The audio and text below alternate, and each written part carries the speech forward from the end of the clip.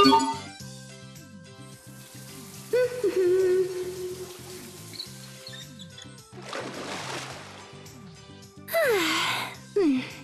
what a great bath. Ah, Sophie, that's kind of crude. But it feels good to pound a cold one right when you get out of the bath.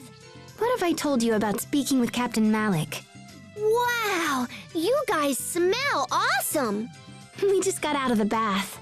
Ugh, Pascal, you smell really foul.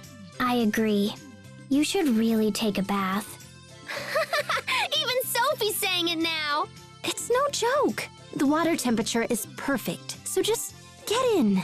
Yeah, but I'm in the middle of important research and stuff right now. You can finish your research later. I can also take a bath later. Pascal sure works hard at running away, doesn't she? She's gone again. Today is the day we make a stand. She will get into this bath. Hold it right there.